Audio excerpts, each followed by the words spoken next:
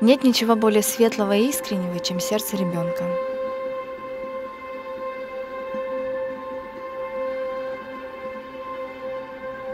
Я в детстве верила в сказочный мир, в котором жили особенные люди, летающие слоны, розовые моря.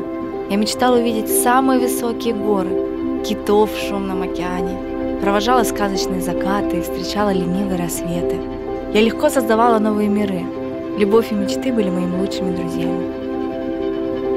Но в жизни всегда приходят испытания, которые или ломают нас, или делают сильнее, заставляя взрослеть но не отказываться от своего сказочного мира.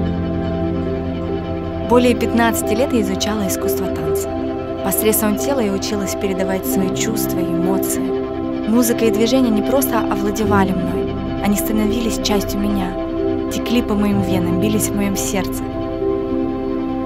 В самый неожиданный момент на тренировке я сломала позвоночник.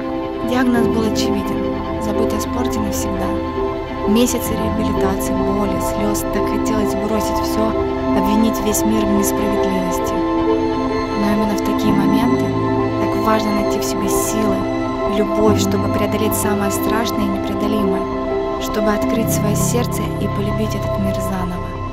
Прошло время, и я вышла на паркет. С 14 лет я работаю журналистом.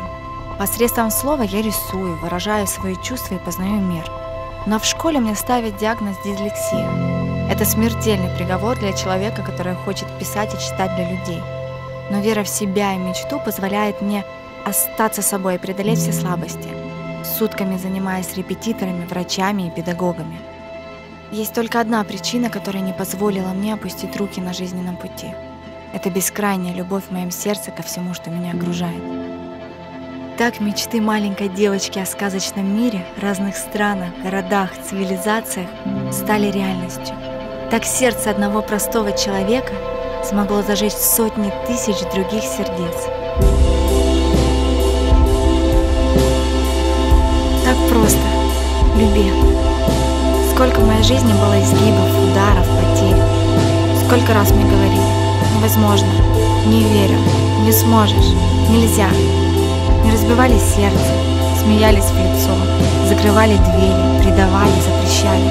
Я спотыкалась, плакала, ошибалась, боролась, не понимала. Потом наступала тишина.